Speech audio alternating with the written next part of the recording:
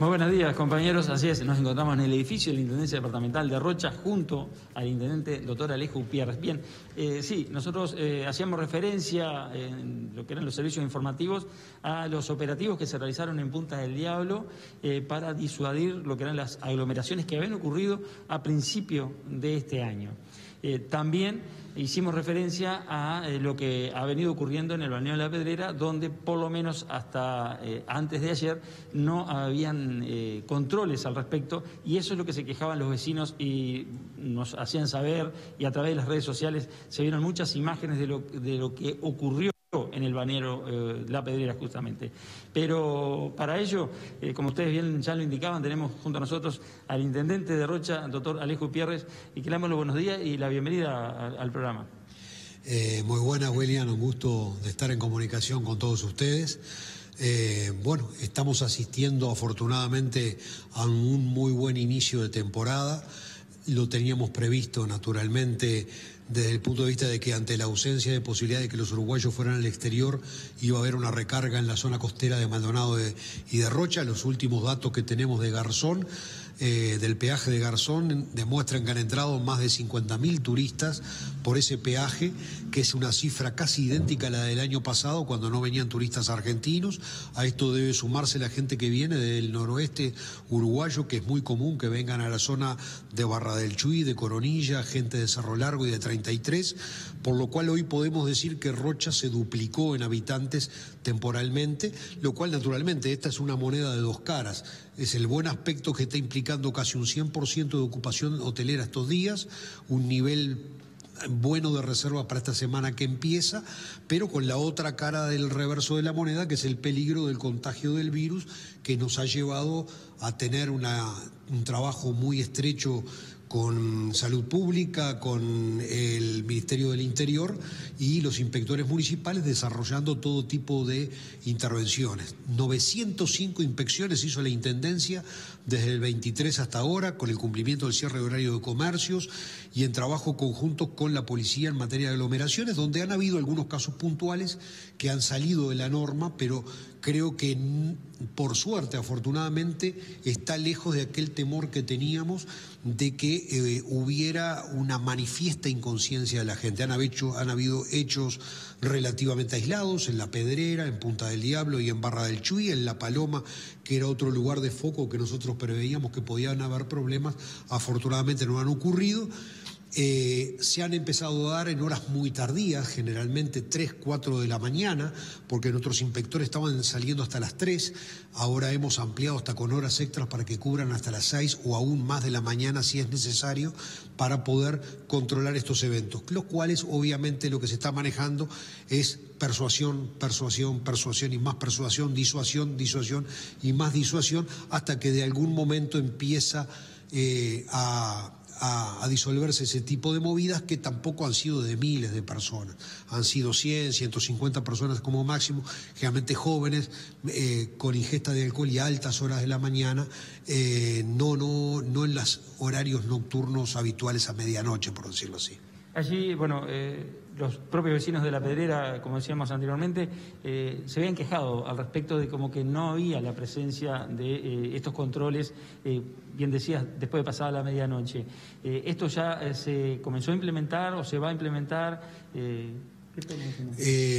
te digo lo que hemos decidido, efectivamente cuando uno va de alguna forma analizando los modus operandi de esta situación, porque obviamente quienes lo hacen saben los horarios de las inspecciones. Eh, habíamos pensado en principio que un horario razonable era ser de 21 a 3 de la mañana. Cuando vimos que empezaban algunas movidas después de esa hora, hemos prorrogado eh, a partir del día primero lo que son todas las actuaciones hasta las 6 de la mañana e incluso con la posibilidad de extender más allá de ese horario en lo que es eh, Punta del Diablo, que venían ocurriendo justamente estas aglomeraciones, eh, se hizo un operativo hace un par de días eh, con prefectura, bueno, también inspectores y la policía, y dio buen resultado, hubo mucha conformidad porque no hubo problemas este, en momento de disuadir justamente a quienes producían estas alteraciones. Sí, fueron los lugares de mayor concentración. Se dan en puntos específicos que ya los tenemos localizados. Son en determinados lugares puntuales que se conforman esos focos,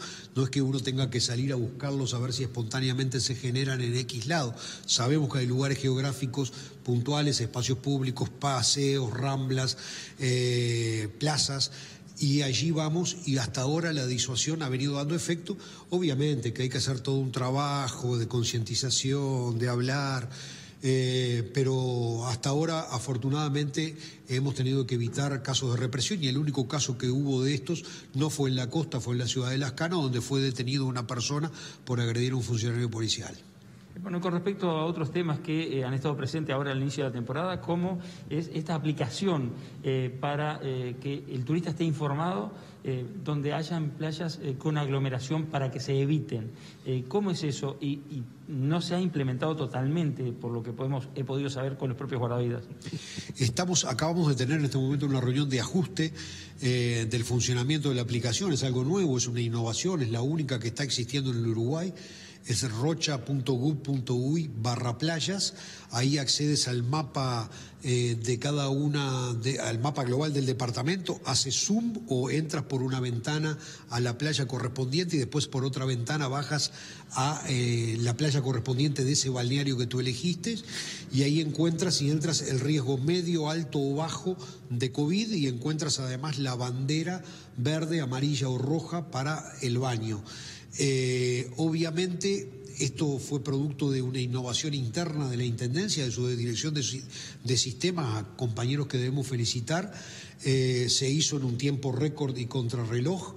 Eh, naturalmente todo esto lleva un periodo de instrucción porque esto involucra al cuerpo de guardavidas al cual debemos de agradecerle la buena disposición, pero claro, hemos tropezado con temas tecnológicos hasta de los aparatos telefónicos que tenían los propios guardavidas, del tema de los paquetes de datos que teníamos que comprar, todos temas logísticos que ahora en estas horas estamos terminando de ultimar porque habían playas que tenían un buen nivel de agregado de datos, pero otras que tenían rezago y esto lo ideal es que podamos cargar cada hora, no cargar una vez eh, cada tres o cuatro o cinco horas o tres veces al día porque pierde la función de tal. Así que esperemos que de esta reunión que haya habido ahora ajuste siga un proceso de mejora de, la, de la herramienta que creo que es innovadora porque permite al turista antes de salir del balneario donde está poder localizar las playas de bajo riesgo. Eh, por último, para ir redondeando, Intendente, eh, ¿se le ha dado eh, facilidades a los comerciantes para que trabajen en la vía pública?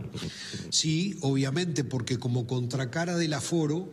que esto limita a una persona cada cinco metros en el interior de los comercios, hemos prohibido el acople de mesas, cuatro personas por, por mesa, separación de dos metros, creo que es entre mesa y mesa, genera obviamente una necesidad de los locales de tener una posibilidad de mejor recepción de los visitantes o de sus clientes. Y para eso, sin costo, la Intendencia de Rocha está habilitando este año el uso de DEX o de espacios públicos en las veredas, de manera tal de que en un ambiente aireado, en un ambiente abierto, también el comercio pueda tener un descongestionamiento y pueda mejorar también su educación económica, porque esto es una cuestión, la, famosa imagen de las perillas también funciona allí y obviamente aquellos que pagaban hasta ahora el espacio de DEC este año les va a ser exonerado. Muchísimas gracias por toda la información que nos brindó, Intendente. No, muchas gracias a ustedes y a las órdenes. Bien, compañeros, hasta aquí eh, toda la información que podíamos brindarles directamente desde el Departamento de Rocha en todos los aspectos eh, que hacen al quehacer eh, del turismo y de, también de la seguridad en las playas.